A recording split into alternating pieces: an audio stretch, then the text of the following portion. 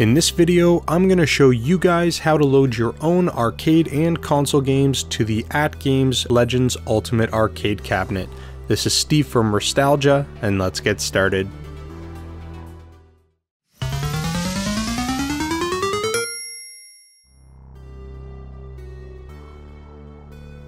So before we get started, I do want to say I am well aware that there are other people who have done this video in the past. Uh, what I found is when I was looking at those other videos, a lot of them would just kind of talk about it and leave links in the description. So what I wanted to do was put together a thorough walkthrough for anybody who's new to the cabinet and hasn't really done any of these types of things in the past before. So what I want to do is actually show you guys how to download it, how to install it, how to get it up and running so that way you guys have a step-by-step full-on tutorial. So the first thing that we're going to need to do is we have to download the add-on tool. So we can actually get it right from this website right here. It's on GitHub. What I'm going to do is I will leave all the important links in the description down below. You'll be able to follow along with the video and install things at the same time to make things nice and easy. So as you can see here, we've got this file right over here. It is the add-on tool. All we need to do is click this download button. So that's all you're gonna need to do. We're gonna click it right now. We're then gonna be asked where do we want to save it. And in this case, I'm just gonna save it directly to the desktop. There are a few other things that we're gonna need as well. Uh, we're going to need access to the cores and we're going to need access to thumbnails or bezel art or any of those sort of things. So we can go ahead and pre-download those now. Uh, as you can see, I've got a Dropbox link with a bunch of cores in it. These are all tested and working cores. There are other cores available, but they haven't been thoroughly tested, so I'm going to leave a link to these. And as we end up with more thoroughly tested cores, they'll be transferred into this folder here.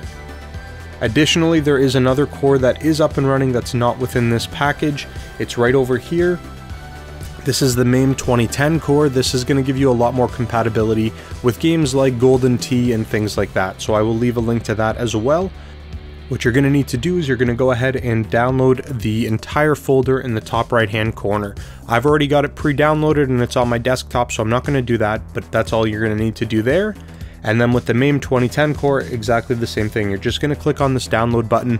It's going to download it onto wherever you choose. I prefer my desktop when I'm working with things actively, and then you're good to go from there. The last thing that you guys can optionally download is a thumbnail pack. So I know that there's been a ton of discussion with people having trouble getting the right thumbnails or getting good thumbnails. What I'm going to do is include a link that'll allow you to download thumbnails for pretty much any console you want, and they come pre-packaged as PNG, so you don't have to deal with finding a JPEG on Google Images and then converting it to PNG. Um, you can just get everything from here. Now, I can't guarantee that every single game will be there, but a huge majority, I'm willing to bet you 99% of the games you're looking for will be available through these packages. So we're going to go ahead and check that out.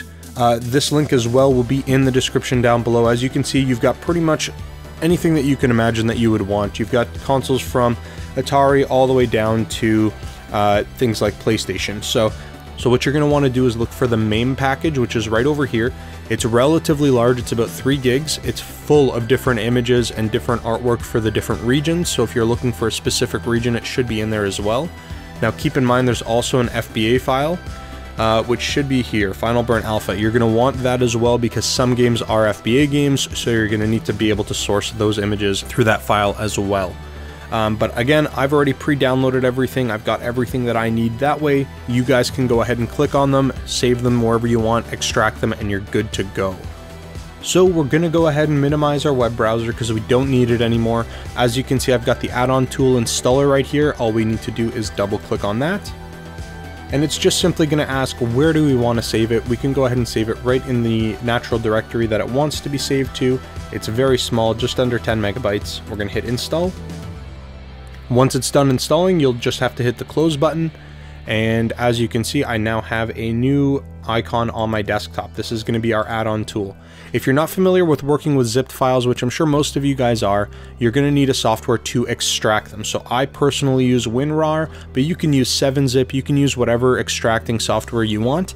It's really simple. If you right click on the item, you can extract whatever it is you've downloaded to its own file, or you can extract it directly onto the desktop. In my case, I always like to extract it to its own folder just in case uh, there's going to be a ton of files in it and it's not packaged properly. So we're going to go ahead and extract to working. I'll pull that file over from my other screen right over here. And if you open it up, this is where we're going to see all of our cores.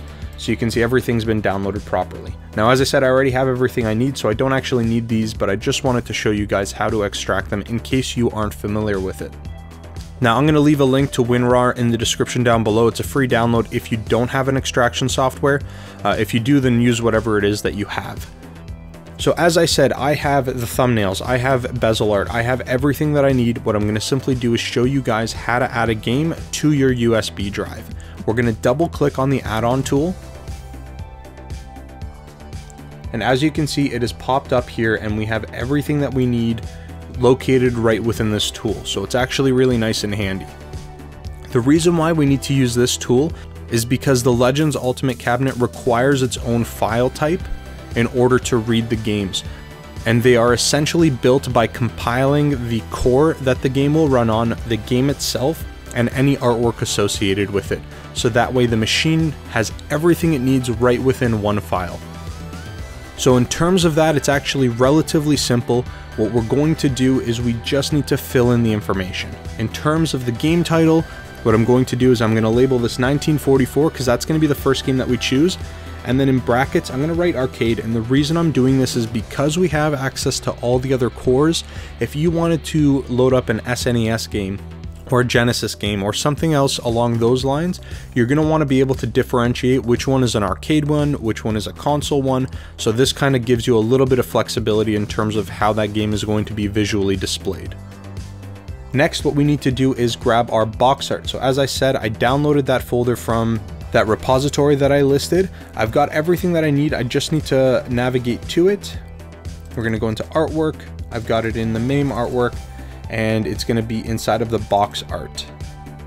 So I'm going to see if I can change the view on this. There we go. So you can see I've got all the different box art here. I just need to locate 1944. And as I mentioned, you're going to get all of the different artwork for the different regions as well. There it is. So you can see I've got the Japanese artwork, I've got the US artwork, and then I've got an alternative US artwork. It doesn't really matter what we choose. They are in PNG format, they're ready to go. You just double click on the one that you want. It'll look like it doesn't fit, but it will fit properly on the actual console.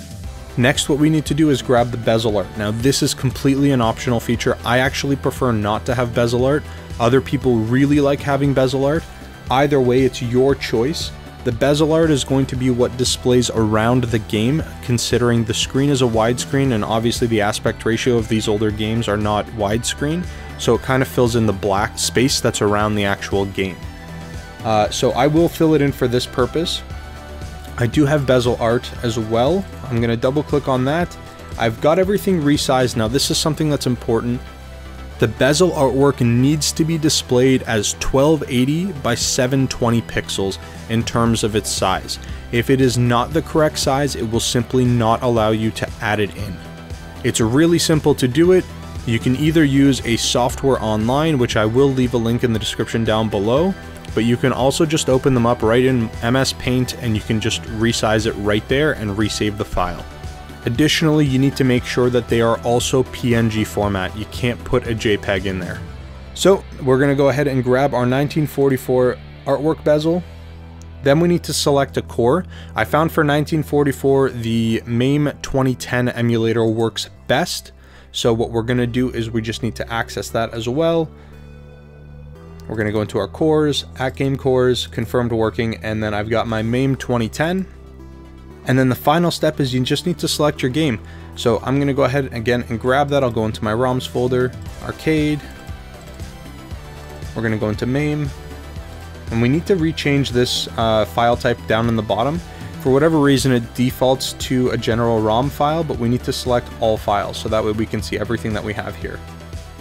And I forgot that this is an FBA game, so I need to jump into FBA.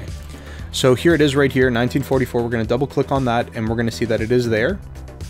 The nice thing about this tool is that you don't have to load all these things onto your USB drive. all you need to do is just get everything on your computer and what we're going to do is create that UCE file and we're just going to dump it directly on the USB drive and then all that's really left to do is pop that into our console and play our game. So one thing I do want to mention about your USB drive is that it does need to be formatted as either FAT32 or exFAT. So if you haven't done that, right click on the drive and format it. So now that I've got everything that I need for this game specifically, I'm gonna go ahead and build the package. It's gonna ask me where do you want to save this file? So what we're gonna do is we're gonna navigate to our USB disk and we're going to save it directly into there. So it's gonna build the UCE package and when that's done, it's just gonna say, hey, package is done, enjoy the game. And there it is, the UCE package file is now ready, have fun. So we just gotta go ahead and hit OK. I'm gonna just open up my USB drive just to make sure that it is there. And you can see right on, it says add-on underscore 1944 and then in brackets arcade.uce. This file should be good to go. What I'm gonna go ahead and do is I'm gonna add a bunch more games onto here to give you guys a wider variety and to show you guys a bunch of different games are working properly and everything looks good. And then I'm gonna go ahead and demo that for you guys as well. So we're gonna go ahead and switch over to the arcade cabinet. So now that we've got our console all up and running, uh, it's important to note that what you're going to need to do is you're going to want to make sure that you plug your USB drive into the cabinet after you've turned it on. There has been some reported issues where if you leave your USB drive plugged into the device and then you turn it on, that you have issues with loading any of the games. So just make sure that your USB drive is not uh, plugged in, you turn on your cabinet, and then you pop your USB drive in. So I'm gonna go ahead and do that now. And what we're gonna notice is on the left-hand column where we've got all of our games information, directly underneath of the inputs, we will have our add-on feature enabled. So we're going to go ahead and scroll on down to the add-on section and we're going to take a look at all the games that are loaded. And there we are. So you can see right here is 1944. This is the one that we had just uploaded. And uh, we've got a bunch of the other games on there as well. But what we're going to do is we are going to go and jump into 1944 and I'm going to show you guys what that looks like with all of the bezel art and uh, how that actually runs. And when you look at the screen now, now that we've got the game actually up and running, this is part of the reason why I don't really like having bezels. So you can see if you change the display mode around based off of the different options that we have for the display mode, it doesn't really fit within that bezel. Now, of course, obviously the artwork can be adjusted so that way it works, but then you're starting to get really nitpicky and having to make micro adjustments depending on the game and exactly how it's going to be displayed. So, I mean, it's it's all up to personal preference. If you are a fan of the bezel artwork, then please feel free to load it in there. Uh, as you'll see in the next game that I show you guys, I don't include the bezel art and it's just a personal preference thing. But as you guys can see, the game is running really well. Now obviously the bezel that I've got is not in English, but you could always source one that is. So now we're going to go ahead and back on out of this game, and I am going to show you guys another game that a lot of people have been talking about, uh, in the different Facebook groups that are having trouble getting it to load. And that is going to be Golden Tee 2K or Golden, any of the Golden Tee titles essentially. So let's go ahead and get Golden Tee 2K started up so you guys can see that it does in fact work. And for this, you're going to need to use the MAME 2012 emulator core. Well, there you have it. The game is running and playing incredibly well. But that's all I've got for you for this video. Please subscribe to the channel if you guys like my content. I'm going to have a bunch more videos coming out on this cabinet, as well as a whole bunch of other stuff I've already started uh, working on and planning. So definitely, definitely I would appreciate that support. Make sure to give the video a thumbs up or a thumbs down if you didn't like it, and leave a comment in the comment section down below. But that's all I've got. Thanks again for watching, and I'll talk to you guys again real soon.